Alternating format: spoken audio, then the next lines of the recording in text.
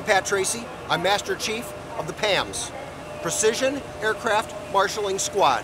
Ladies, welcome to Precision Aircraft Marshalling. Come on board. I am so proud of these young people in our Precision Aircraft Marshalling Squad. They have showed up for every rehearsal. They have brought intensity, determination, and a zest for fun. We're based out of Outagamie County Regional Airport in Appleton, Wisconsin, ATW. We have an elite trained group of precision aircraft marshalers, and we are going to show you our stuff tonight. When we get down there, it's going to be crazy. We're going to have to get off the bus as fast as we can.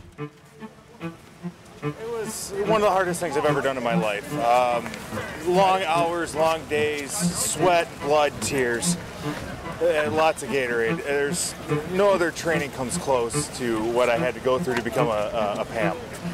You know, we're all detrimental parts of this team, and we put in a lot of work and a lot of effort, so nothing's going to stop me from doing this parade. Front row, strong side. The entire unit keys off of me. I hate to mention this, but I'm kind of a big deal.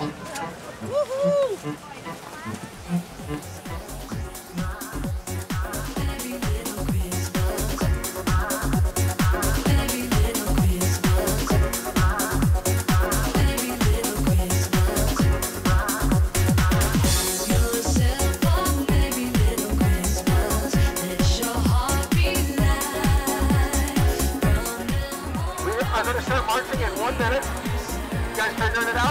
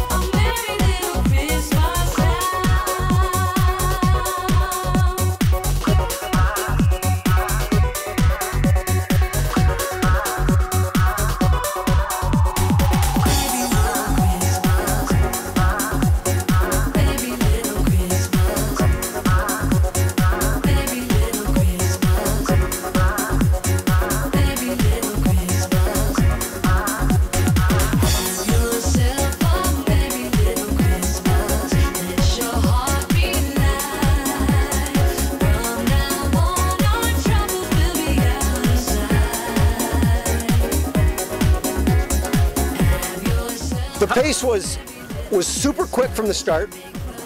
I, then I increased it. I wanted to push these PAMs as far as I could. They stayed with me the entire time. I'm proud of these young people. We are the first precision aircraft marshalling squad in the world. The exhilaration I felt was from stomach to heart. And I felt like a true American. Feelings. My toes, they got all tingly. I got these feelings in my fingertips. It was amazing. Starters, I feel powerful knowing that the last leg of the passenger's journey is all up to me to get them in safely.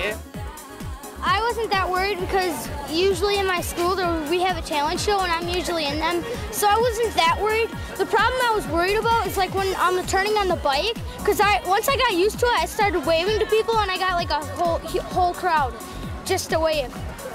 It it was kind of it was kind of a weird thing for me at first, but once you got used to it, it was not that bad, I guess. You know, it wasn't insurmountable. I didn't sleep much last night, but I got through it. I really did. Proud of what I've done. It was a good, it was a good thing. Oh man, I've been waiting for an opportunity like this to come up since I was a sparkle in my parents' eye. But this was a lot of fun, and I challenge you to do it next year with me.